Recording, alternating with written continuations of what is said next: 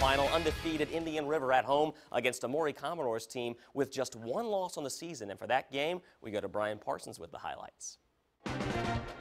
Packed house at Indian River, but the home crowd, they were silenced early. Maury and white already leading 7 to nothing when Avante Lawton connects with Ty Granger, and Granger does the rest.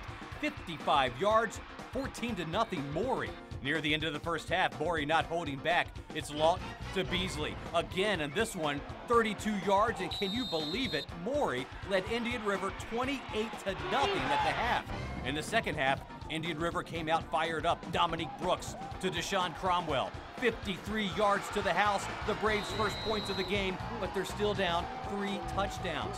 Indian River continues to cut into the lead. Rasheem Brooks, the touchdown run, and it's 28 to 14. The Braves are back in it, but Maury, too much offense tonight. CJ Beasley, the 24 yard touchdown run, and Maury wins it 42 to 21 over Indian River to win the 5A region championship and a trip to the state semifinals next week against Highland Springs.